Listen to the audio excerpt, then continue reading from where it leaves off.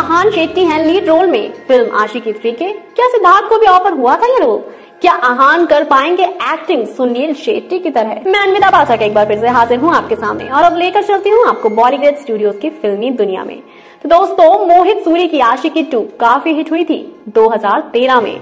इस फ़िल्म के गाने आज भी गुनगुनाते हुए, गूंजते हुए चारों ओर दिख जाते हैं। इस फ़िल्म में हमने देखा था आदित्य रॉय कपूर और श्रद्धा कपूर की डेब्यू होते हुए, जो उनके लिए भी काफ़ी प्रॉफिटेबल साबित हुआ। अब मोहित सूरी वापस आ रहे हैं, लेकर उनके कुछ फ़िल्म के सीक्वल जहाँ शामिल है आशिकी थ्री भी पहले ये सुना जा रहा था कि आशिकी थ्री में काम करने वाले हैं सिद्धार्थ मल्होत्रा। लेकिन मोहित ने इस बात से इनकार कर दिया।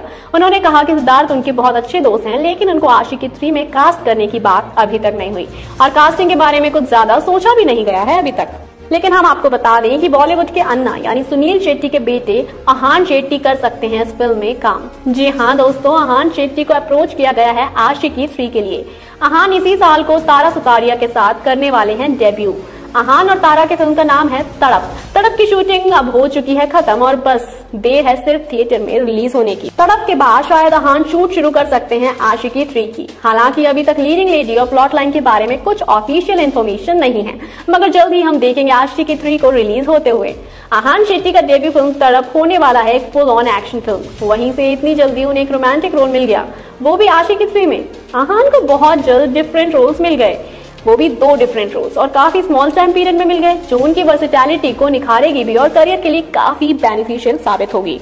आपको एक मज़ेदार बात बताएँ कि हान के पिता सुनील शेट्टी भी अपने रोमांटिक और एक्शन रोल्स दोनों के लिए ही जाने जाते हैं। सुनील ने एक्शन से लेकर रोमांस और कॉमेडी तक का एक्सपेरिमेंट किया है, जो उन्हें काफ़ी सक्सेसफुल अभिनेता बनाता है। तो क्या आहान शेट्टी भी दिखा पाएँगे सुनील शेट्टी की तरह ब्रिलियंट परफॉर्मेंस ये तो मूवी रिलीज़ होने पर ही पता चलेगा।